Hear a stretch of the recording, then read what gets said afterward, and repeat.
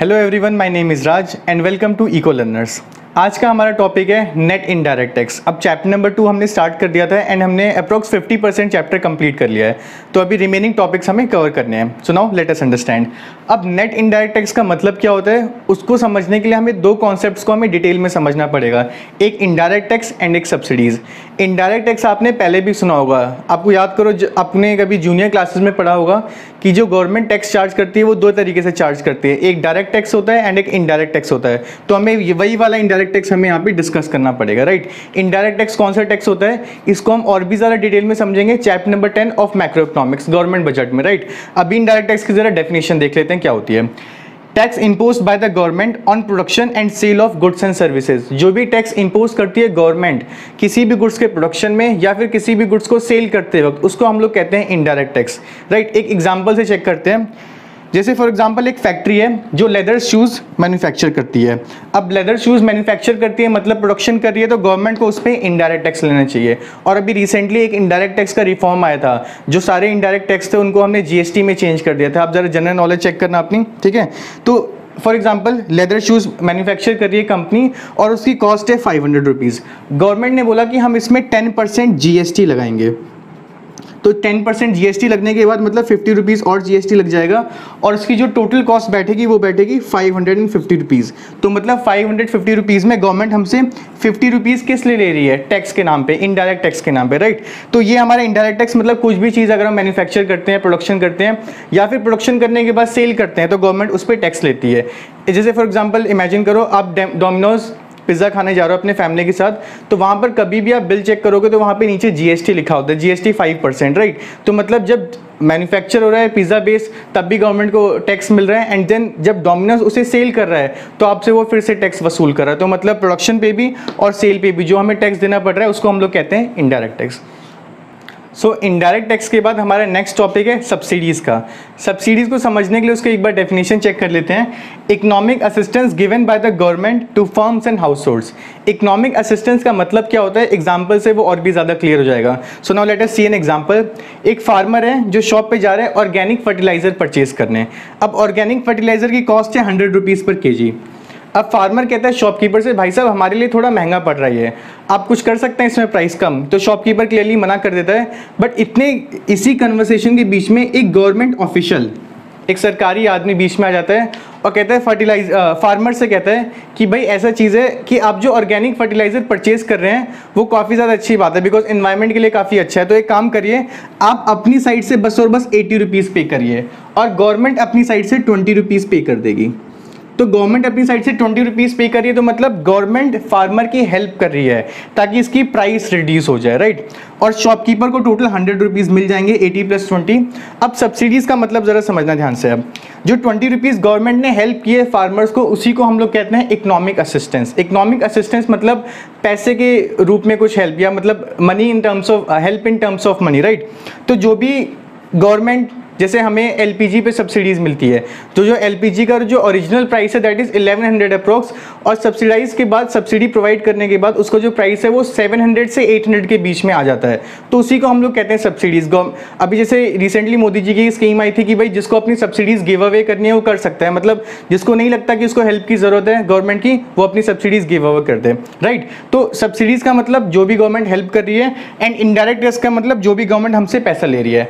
अब net indirect tax का मतलब क्या हुआ? राइट समझना ध्यान से गवर्नमेंट ने हमसे फिफ्टी रुपीज़ कलेक्ट किए और ट्वेंटी रुपीज़ हमें वापस दे दिए इन टर्म्स ऑफ़ सब्सिडीज तो गवर्नमेंट ने हमसे नेट में कितना लिया? थर्टी रुपीज़ ही लिया. इस थर्टी रुपीज़ को हम लोग कहते हैं नेट इनडायरेक्ट टैक्स मतलब indirect tax minus subsidies right तो इनडायरेक्ट टैक्स एंड सब्सिडीज की बात इनडायरेक्ट टैक्स की जो डेफिनेशन होगी, वो होगी it refers to the difference between indirect tax and subsidies मतलब इनडायरेक्ट टैक्स जो भी गवर्नमेंट ने हमसे टैक्स लिया और सब्सिडीज मतलब जो भी गवर्नमेंट ने हमने, हम गवर्नमेंट ने हमें वापस कर लिया। तो दोनों का जो डिफरेंस होगा, उसी को हम लोग बोलते हैं NIT net indirect tax right so next topic है हमारा factor cost and market price जब आप नेशनल इनकम के न्यूमेरिकल सॉल्व करोगे तो आपको निकालना पड़ेगा for example GDP at market price या जीडीपी एट फैक्टर कॉस्ट तो मार्केट प्राइस और फैक्टर कॉस्ट का मतलब आपको क्लियर होना चाहिए. सो so, एक बार डेफिनेशन चेक कर लेते हैं factor cost and market price की. अब फैक्टर कॉस्ट की डेफिनेशन है it refers to amount paid to factors of production for their contribution in production process and market price की डेफिनेशन है it refers to price at which product is actually sold in the market एक बार example से check करते हैं, वहाँ से ज़्यादा अच्छे से क्लियर होगा राइट फॉर एग्ज़ाम्पल एक फैक्ट्री है फैक्ट्री बना रही है लेदर शूज़ और लेदर शूज़ बनाने की उनको मिल रहे हैं फाइव हंड्रेड रुपीज़ मतलब एक लेदर शूज़ की कॉस्ट बैठ रही है फाइव हंड्रेड रुपीज़ अब इमेजिन करो कि आप लोग मार्केट जा रहे हो परचेज कर रहे हैं तो हम फैक्ट्री से तो परचेज नहीं करते हैं, हम शॉप से परचेज करते हैं तो ये फैक्ट्री से जो भी सामान है, ये शॉप में ट्रांसपोर्ट होना ज़रूरी है राइट तो जब सामान फैक्ट्री से शॉप पे जाएगा तो बीच में हमारे कुछ गवर्नमेंट ऑफिशियल आ जाएँगे क्योंकि प्रोडक्शन हुआ है तो उनको कुछ टैक्स चाहिए राइट तो फॉर एग्ज़ाम्पल उन्होंने फिफ्टी रुपीज़ इनडायरेक्ट टैक्स के नाम पे ले लिया एंड कहीं ना कहीं उन्होंने हमें ट्वेंटी रुपीज़ की सब्सिडीज़ दे दी। तो जो भी शॉप पे ये प्राइस पहुंचेगा हमारा that is five hundred and thirty rupees का। तो मतलब शॉप पे जो भी कॉस्ट शॉप को इनकर करनी पड़ रही है या फिर शॉप जिस प्राइस पे सेल करेगा, उसको हम बोलेंगे फाइव थर्टी रुपीज़ इस एग्ज़ाम्पल में मान लो प्रॉफिट ज़ीरो है। प्रॉफिट को हम लोग ज़ीरो कंसिडर करेंगे ताकि और भी ज़्यादा सिंप्लीफाई करके हम लोग समझ सकें राइट फैक्ट्री कॉस्ट थी हमारी फाइव हंड्रेड रुपीज़ मतलब जो भी चीज़ फैक्ट्री को प्रोडक्शन में कॉस्ट इनकर करनी पड़ी, उसको हम लोग बोलेंगे फाइव हंड्रेड रुपीज़ यहाँ पे हमने सब्सिडीज़ को माइनस किया एंड इनडायरेक्ट टैक्स को प्लस किया. तो जो हमें शॉप को कॉस्ट पड़ रही है that is five thirty rupees और जो भी शॉपकीपर इस सामान को बेचेगा लेदर शूज़ को बेचेगा, वो five hundred and thirty rupees में सेल करेगा. तो इस फाइव हंड्रेड थर्टी रुपीज़ को हम बोलेंगे मार्केट प्राइस मतलब जो भी सामान, जो भी प्राइस पे सामान सेल होता है मार्केट में, उसको हम लोग बोलते हैं market price it refers to price at which product is sold actually sold in the market मतलब फाइव हंड्रेड थर्टी रुपीज़ का हम लोग प्रोडक्ट सेल करेंगे तो फाइव हंड्रेड थर्टी रुपीज़ बन जाएगा हमारा मार्केट प्राइस अब फैक्टर कॉस्ट समझना ध्यान से।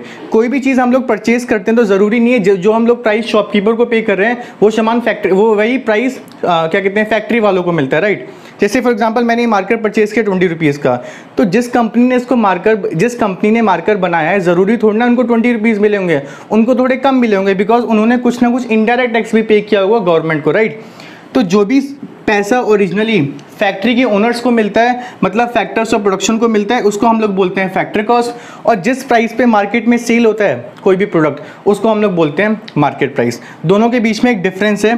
फैक्ट्री कॉस्ट अगर फाइव हंड्रेड रुपीज़ है और जो हमारा मार्केट प्राइस है वो फाइव थर्टी रुपीज़ है तो बीच में जो चीज़ आ रहा है, एक इनडायरेक्ट टैक्स एंड सब्सिडीज़ है. इनडायरेक्ट टैक्स माइनस सब्सिडीज़ आपको पता है क्या होता है हमारा?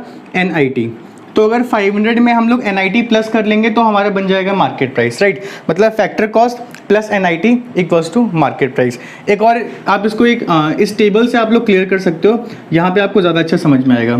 फॉर एग्ज़ाम्पल यहाँ पे एफ़ सी फैक्टर कॉस्ट और यहाँ पे हमारा M P market price factor cost से अगर हम लोग MP पे जाएँगे मतलब मार्केट प्राइस पे जाएँगे तो हमें क्या करना पड़ेगा? प्लस करना पड़ेगा NIT और अगर मार्केट प्राइस से वापस फैक्ट्री पे आएँगे तो हमें माइनस करना पड़ेगा NIT राइट? सो इस वीडियो का हमारा लास्ट टॉपिक है net factor income from abroad short में इसे एनएफआईए भी कहते हैं। एक बार डेफिनेशन चेक कर लेते हैं इसकी।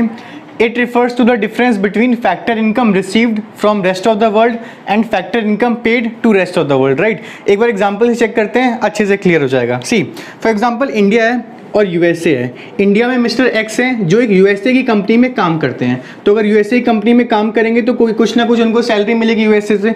फॉर एग्ज़ाम्पल इन्हें हंड्रेड डॉलर्स यूएसए से पेमेंट मिलती है। तो जो भी बाहर से पैसा इंडिया में आ रहा है, उसे हम बोलते हैं factor income from abroad from abroad मतलब जो बाहर से आ रहा है, ठीक है? और वैसे ही फॉर एग्जांपल मिस्टर वाई है, जो इंडिया में काम करते हैं राइट तो इंडिया से इनको कुछ सैलरी मिलने वाली है, जिसको हम बोलेंगे फैक्टर इनकम टू अब्रॉड अगर इंडिया से पैसा बाहर जा रहा है तो उसे हम बोलेंगे फैक्टर इनकम टू अब्रॉड और इंडिया में अगर पैसा आ रहा है तो उसे बोलेंगे factor income from abroad right for example हमने इन्हें फिफ्टी डॉलर रुपीज़ सैलरी पे की। तो हमने हमें मिला कितना? हंड्रेड रुपीज़ और हमने पे कितना किया? Fifty rupees. तो एन निकालने का तरीका क्या होता है? हमें मिला हंड्रेड डॉलर और हमने पे किया फिफ्टी।